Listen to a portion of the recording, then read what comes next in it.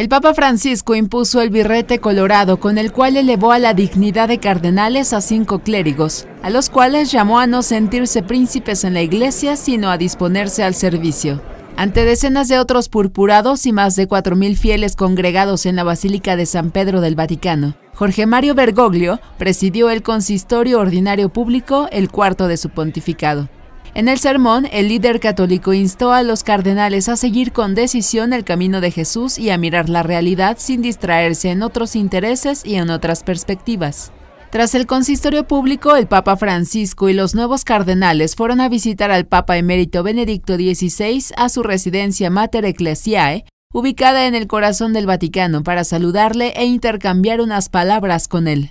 Con información e imágenes de Andrés Beltramo, corresponsal en el Vaticano. Notimex.